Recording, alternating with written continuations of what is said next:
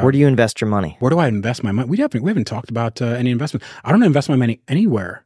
Um, like I I need to I need to do more investments for sure.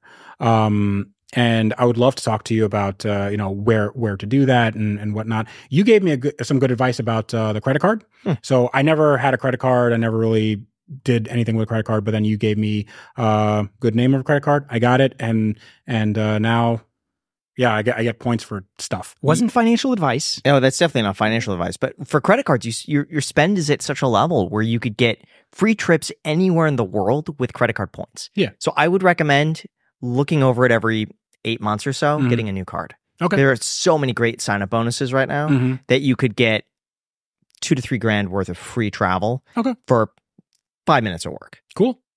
Yeah. So Work, works for me.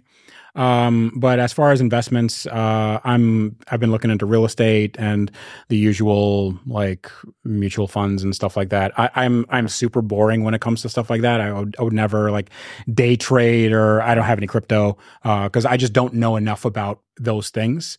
Um, so I mean, if you have any, you know, index funds. yeah, Just index fund. honestly, I would I would probably just take a portion of your income every month, index fund it Mhm. long term, and that's it.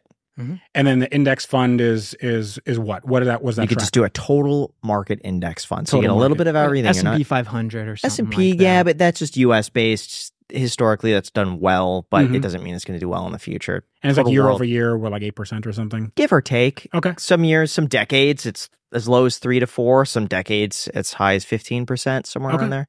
That's it. All right. But otherwise, I mean, it seems like you're doing well enough just buying McLarens, buying really dilapidated, crashed cars, fixing them up, doing well on your channel, and you'll see a higher ROI doing that than I think just about anything else.